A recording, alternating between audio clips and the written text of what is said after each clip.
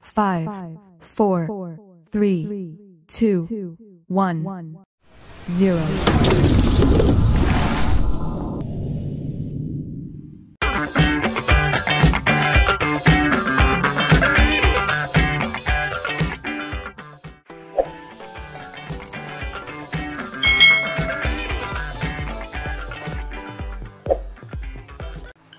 Hai hai hai. Selamat datang di channel youtube Kak Citra. Hari ini kita akan belajar bersama-sama lagi di mata pelajaran tematik tema 1 subtema 4 pembelajaran yang keempat. Mari adik-adik kita belajar dengan penuh semangat. Tahukah kamu bahwa tumbuhan tidak saja bermanfaat sebagai sumber makanan bagi kehidupan makhluk hidup. Akan tetapi, ada manfaat lainnya dalam kehidupan kita. Ayo, kita cari tahu. Ini adalah manfaat tumbuhan bagi makhluk hidup yang menyediakan oksigen di sini tumbuhan itu melakukan proses namanya proses fotosintesis. Nah, salah satu yang dihasilkan dari proses fotosintesis adalah oksigen atau O2. Oksigen atau O2 inilah yang dipakai oleh manusia dan hewan untuk bernafas. Nah, di sini manusia dan hewan itu membutuhkan oksigen yang dihasilkan oleh tumbuhan. Oksigen yang masuk ke dalam tubuh manusia maupun hewan akan terjadi proses di dalam tubuh kita. Lalu setelah itu tubuh kita akan mengeluarkan namanya adalah karbon dioksida. Nah, ketika kita mengeluarkan karbon dioksida, karbon dioksida ini akan diserap oleh tumbuhan. Lalu karbon dioksida ini akan diolah lagi dalam proses fotosintesis menjadi proses uh, menjadi bahan dalam proses fotosintesis tersebut, maka akan menghasilkan oksigen atau O2 lagi. Lalu, oksigen itu dihirup manusia dan hewan. Setelah itu, manusia dan hewan akan mengeluarkan karbon dioksida atau CO2 dan CO2 akan diserap kembali oleh tumbuhan. Seperti itu seterusnya. Nah, itu adalah siklus terjadinya atau proses adanya oksigen di bumi kita. Jadi adik-adik bisa bayangkan kalau tidak ada tumbuhan di bumi kita ini maka tidak akan ada penghasil oksigen yang bisa kita hirup. Tuliskan manfaat tumbuhan bagi makhluk hidup dalam diagram berikut ini. Nah, di sini Kak Citra punya diagram, kalian bisa menyebutkan apa saja manfaat dari tumbuhan. Yang Kak Citra sebutkan di sini yang pertama adalah sebagai sumber makanan manusia dan hewan. Lalu penghasil oksigen, untuk tempat berteduh, untuk menyerap air hujan, dan sebagai bahan obat-obatan. Mengapa Kak Citra tulis di sini untuk menyerap air hujan? Jadi adik-adik untuk wilayah hutan dan pegunungan jika terjadi hujan maka pohon akan menyerap air hujan tersebut sehingga itu bisa mengurangi uh, akibat yang tidak baik atau akibat yang buruk yaitu tanah longsor karena air otomatis diserap oleh pohon di daerah perkotaan sekarang banyak bangunan adik-adik. Jadi banyak sekali eh, pohon-pohon yang ditebang. Akhirnya air hujannya tidak diserap oleh pohon. Bahkan bisa terjadi banjir di kota-kota. Tumbuhan berkembang biak untuk menjaga kelestarian jenisnya sebagai sumber kehidupan bagi makhluk hidup lain. Oleh karena itu, manusia itu memiliki peran untuk melestarikan tumbuhan. Tahukah kamu bahwa ikut memelihara kelangsungan hidup tumbuhan merupakan salah satu bentuk pengamalan nilai-nilai Pancasila.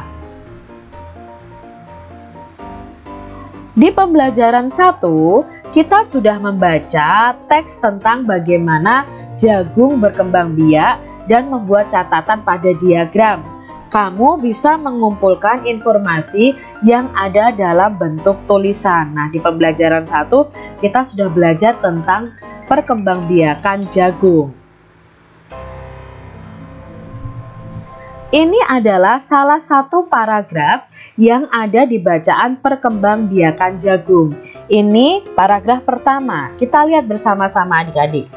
Jagung merupakan salah satu tanaman yang dijadikan bahan pokok di berbagai daerah juga di Indonesia. Contohnya penduduk Pulau Madura menjadikan jagung sebagai makanan pokoknya.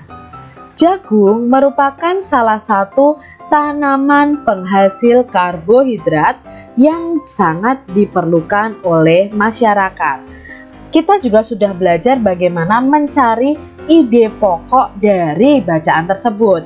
Nah, ide pokoknya adalah jagung merupakan salah satu makanan pokok masyarakat Indonesia. Itu adalah ide pokoknya. Nah, sekarang kita akan belajar membuat kesimpulan. Kesimpulan dari bacaan tersebut. Kesimpulan dari paragraf ini adalah jagung sangat penting di Indonesia. Nah, di sini dikatakan bahwa jagung itu sangat penting. Di Pulau Madura itu jagung dijadikan bahan makanan ya, makanan pokok. Lalu menghasilkan karbohidrat yang sangat tinggi yang diperlukan oleh tubuh manusia. Jadi kesimpulan itu adalah inti dari teks tersebut. Apa itu kesimpulan? Kesimpulan adalah suatu ikhtisyar atau intisari dari suatu uraian, pidato, atau bahkan bacaan. Kesimpulan yang baik itu berisikan satu pesan yang di, yang ingin disampaikan kepada pembaca. Jadi kesimpulan dari bacaan itu kalian bisa ambil pesan apa yang bisa disampaikan kepada pembaca. Lalu intisari dari tulisannya. Dimulai dari khusus ke umum. Menggunakan kosakata yang baku sesuai pernyataan yang dibuat berdasarkan ide pokok dan kata kunci dari kalimat penjelas dengan kalimat sendiri. Jadi ini adalah syarat-syarat uh, kita mem bisa membuat kesimpulan yang baik dari sebuah bacaan. Nah, adik-adik, tadi kita juga belajar bahwa ketika kita menyayangi binatang, menyayangi tumbuhan, itu juga menerapkan sila pada Pancasila. Kita ingat-ingat lagi tentang Pancasila. Garuda Pancasila adalah lambang negara Indonesia. Burung Garuda itu besar, gagah, dan perkasa. Lihatlah perisainya adik-adik. Perisai itu memuat simbol dari sila-sila pada Pancasila. Pancasila adalah dasar negara kita. Ini adalah perisai yang di dalamnya termuat simbol-simbol Pancasila.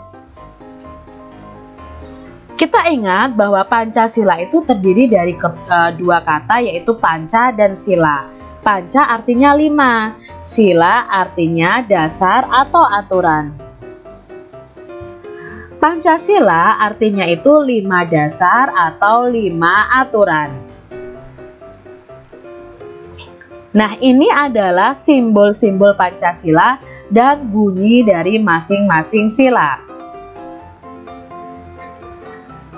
Ini adalah simbol pertama Pancasila yaitu ketuhanan yang Maha Esa. Kita akan belajar nilai-nilai apa yang terkandung dalam sila ketuhanan yang Maha Esa. Di dalamnya terkandung nilai kita takwa terhadap Tuhan yang Maha Esa. 2. Toleransi dan penghormatan kepada agama atau kepercayaan lain. 3. Kerukunan antar umat beragama. Berikutnya adalah nilai-nilai yang terkandung dalam sila kemanusiaan yang adil dan beradab. Nah, sila ini Nilai-nilai yang bisa kita ambil adalah adanya persamaan derajat, menghargai hak asasi manusia, solidaritas antar sesama manusia, dan kita belajar juga tentang perdamaian. Nah, solidaritas ini bisa berupa tolong menolong. Untuk sila ketiga yang berbunyi Persatuan Indonesia, terdapat beberapa nilai yang terkandung di dalamnya. Yang pertama adalah kita menggunakan bahasa persatuan antar daerah. Itu akan menjaga persatuan Indonesia. Yang kedua, memperjuangkan nama harum bangsa Indonesia. Yang ketiga, ada sikap cinta kepada tanah air Indonesia. Mengutamakan persatuan dan kesatuan daripada kepentingan pribadi. Yang kelima, berjiwa patriotisme di mana pun berada. Nah, ini nilai-nilai yang terkandung di sila ketiga Pancasila. Untuk sila keempat yaitu kerakyatan yang dipimpin oleh hikmat kebijaksanaan dalam permusyawaratan perwakilan memiliki nilai-nilai di antara lain pemimpin bangsa Indonesia itu haruslah bijaksana. Kekeluargaan itu harus diutamakan di atas segala-galanya. Jadi ketika ada masalah kita harus selesaikan secara kekeluargaan. Yang ketiga, kedaulatan bangsa itu ada di tangan rakyat. Yang keempat, kebijaksanaan dalam mengambil setiap solusi. Nah, di sini pasti ada eh, kegiatan musyawarah karena mengambil solusi. Keputusan yang diambil harus berdasarkan musyawarah sampai mencapai kesepakatan bersama. Yang keenam, tidak memaksakan kehendak orang lain. Jadi ini adalah nilai-nilai yang terkandung pada sila keempat. Sekarang nilai yang terkandung dalam sila kelima, yaitu keadilan sosial bagi seluruh rakyat Indonesia. Yang pertama adalah perilaku yang adil harus diterapkan baik di bidang ekonomi, sosial, dan politik. Hak dan kewajiban setiap orang itu harus dihormati perwujudan keadilan sosial bagi bangsa Indonesia. Tujuan rakyat Indonesia yang adil dan makmur, mendukung kemajuan dan pembangunan negara Indonesia. Amati kedua gambar berikut. Nilai Nilai Pancasila dari sila berapakah yang terkandung dalam kedua sikap pada gambar tersebut? Nah, di sini sikap uh, yang pertama ini adalah kegiatan sedang membersihkan uh, halaman ya bersama-sama adik-adik. Nah, di sini mengandung sikap atau nilai-nilai yang terkandung di sila ketiga Pancasila. Bisa juga sila kelima. Kalau pembagian tugasnya secara adil itu sesuai dengan sila kelima. Kalau tentang sikap hidup rukunnya itu sesuai dengan sila ketiga. Lalu berikutnya adalah gambar ketika uh, sedang bermusyawarah. Nah, di sini dalam kerja kelompok ada musyawarah. Nah, ini otomatis sesuai dengan sila keempat Pancasila. Demikian tadi adik-adik pembahasan kita di mata pelajaran tematik tema 1 subtema 1 pembelajaran yang keempat. Semoga video pembelajaran ini bermanfaat bagi adik-adik semuanya. Kak Citra minta maaf apabila ada salah kata saat Kak Citra menyampaikan. Terima kasih sudah menyaksikan video pembelajaran Kak Citra dan Tuhan memberkati. Jangan lupa tekan tombol subscribe lalu tekan loncengnya, tekan juga tombol like, lalu share ke media sosial kalian. Jangan lupa untuk ikuti media sosial Kak Citra. Terima kasih.